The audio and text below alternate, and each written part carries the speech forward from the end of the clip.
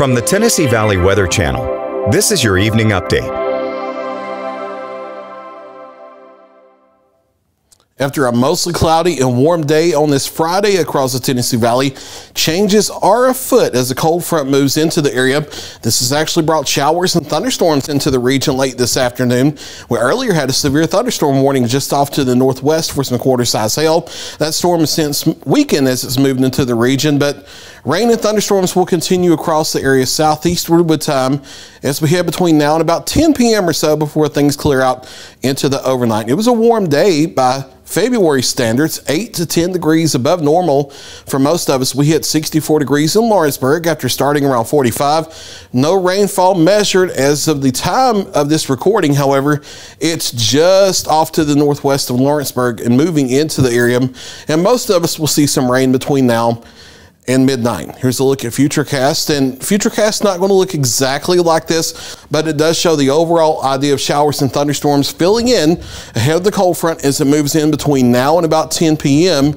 and the colder air following that into the 30s by midnight and most of us into the upper 20s to lower 30s across the area as we head toward daybreak. But with this gusty north wind, drying things out after midnight, not really worrying about icy spots on the roadways. Also, with the warm ground temperatures and the warm road temperatures as well, that would limit any issues. But it's going to be a chilly day tomorrow.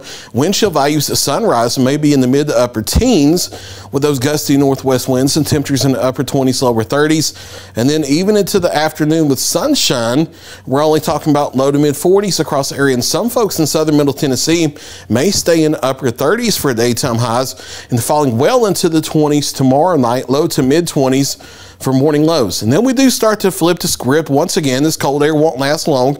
Be back into the lower 50s for daytime highs with sunshine on Sunday, upper 50s and lower 60s Monday, and well up into the 60s, knocking on the door of 70 by the middle of next week. It's going to be a fast change around here.